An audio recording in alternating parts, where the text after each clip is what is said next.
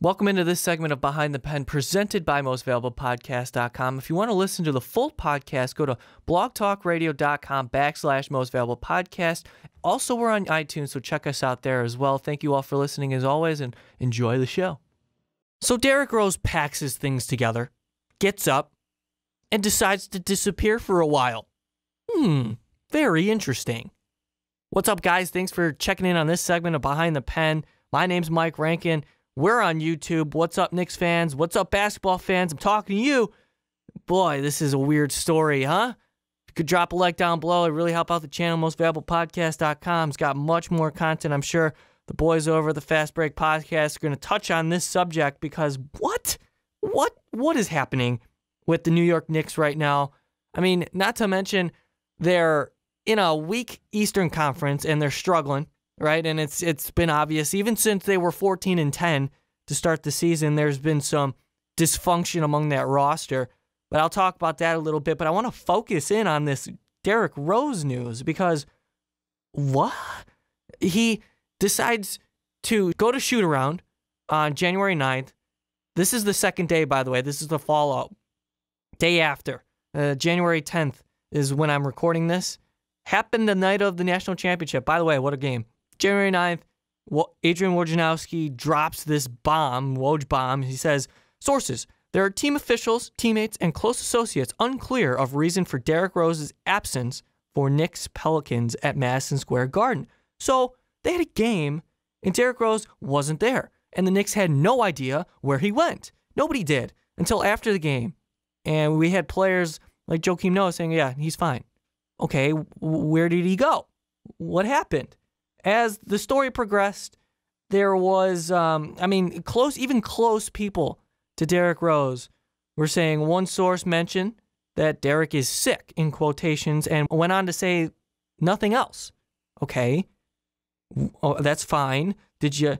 What did you? Did you just leave? Because the Knicks had no idea what was happening, and this was like, where's Derrick? Where did he go for hours? And if if say now, it ultimately ended up being that Rose went home to Chicago and it was a family thing. He wanted to see his mother. Okay, now I totally, absolutely 100 respect the player's privacy, anybody's privacy, if they have to go and deal with a personal matter such as serious as health. Obviously, that's priority number one. Family and then everything else falls underneath. However, the matter in which he went about it makes absolutely no sense. But am I surprised? Absolutely not, because it's Derrick Rose. So he picks up and leaves the night they have a game. And this comes on the heel of after Coach Hornacek benches Rose. And Rose is obviously not happy when they lost to the Bucks a few nights before. Now the Knicks aren't doing too well, and Derrick Rose is obviously not the same player as he was in his MVP season before he blew out his knees twice. That's obvious. I didn't even have to say that, but I will anyway. But the Knicks are beginning to be a laughing stock, and this story doesn't help them in the slightest. Now, first of all, while this was happening, where the hell was Phil Jackson? And where has Phil Jackson been in the construction of the New York Knicks since he took over?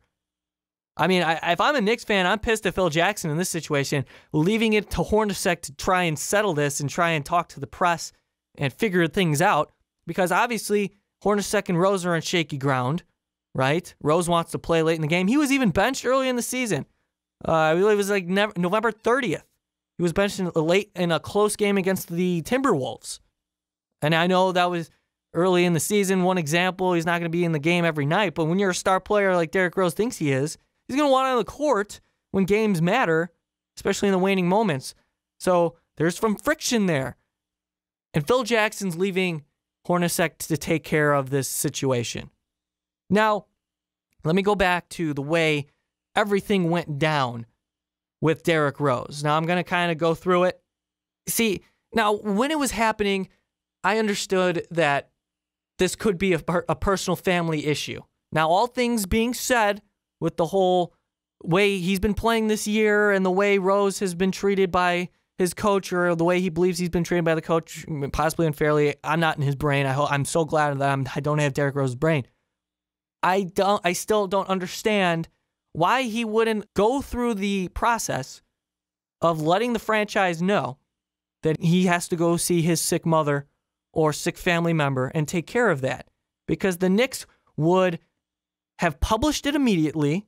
They would have sent out a release saying, Derrick Rose, not available tonight, personal family matter, whatever.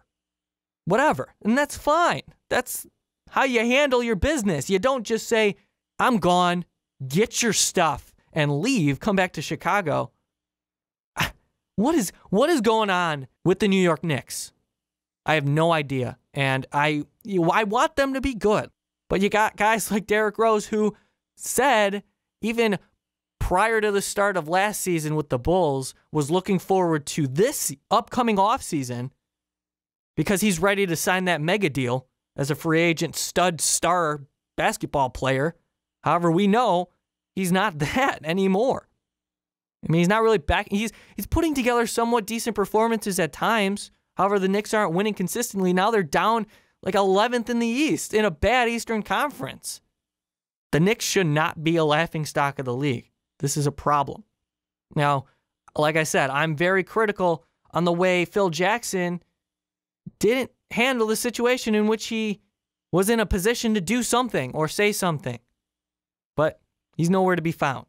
And neither was Derrick Rose for like a day.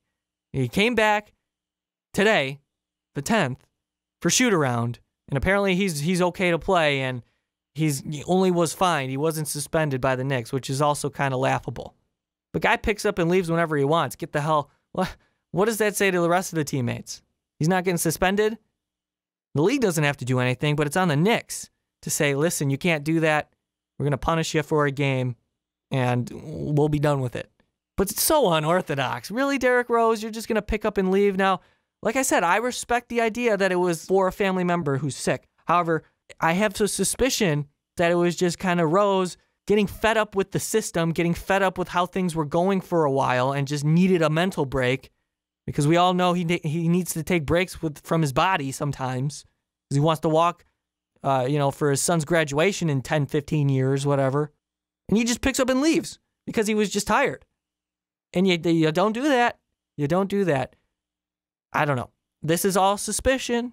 You know, this is me just assuming because I don't know the full extent. This is still a fresh sort of story, but I had to comment on it because it's the Knicks. It's the it's a former Bull. Obviously, I'm a big Bulls fan. Derrick Rose. What else is new? I mean, this guy lives in his own world and nothing's changed and nothing will change. So am I surprised? No, because it's Derrick Rose.